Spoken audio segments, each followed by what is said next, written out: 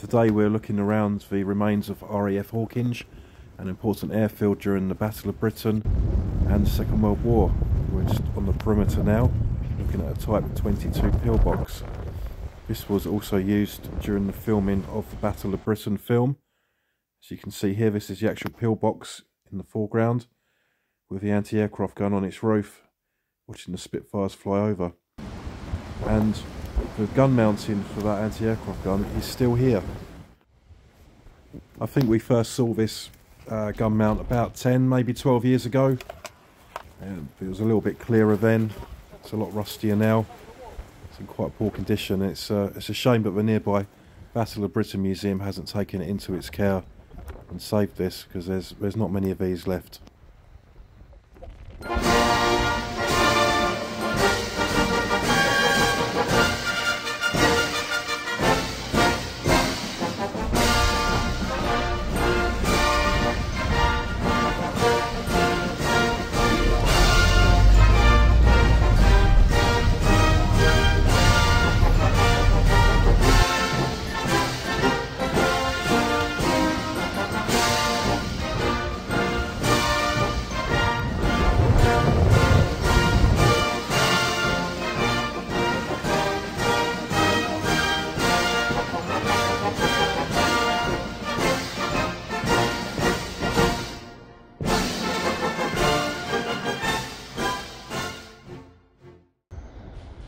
Most of the former airfield has now disappeared beneath a huge housing estate.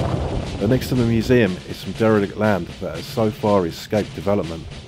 It's here that we find a reserve fuel bunker.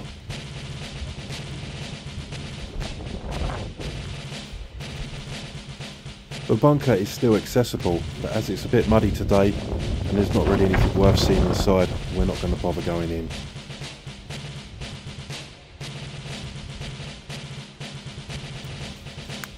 Around the other side of the bunker is the second entrance, and again we're not going to go inside.